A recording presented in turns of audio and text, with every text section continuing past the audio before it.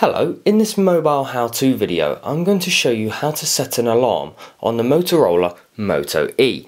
Now to do this we go to the clock application. Once we're in here we then go across to the left hand side at the top and then we find all of the alarms. Now there's an 8.30 and a 9am preset. Now what I can do is I can go ahead and flick them on. That's set for Monday, Tuesday, Wednesday, Thursday and Friday. Now, I don't need to get up at that time. In fact, I need to be up earlier. So I'm going to delete that clock. I'm also going to highlight the other clock and delete that one too. Now, to create an alarm clock, we have no alarms as of now. We go ahead and tap the red plus at the bottom.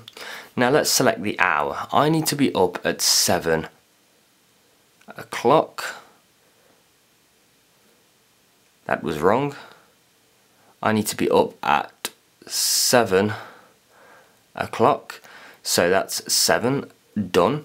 And I have a few options I can label it such as wakey wakey. I can then go ahead tap OK. I can have it repeat on every single day apart from Saturday and Sunday because I don't work weekends. I can change the tone.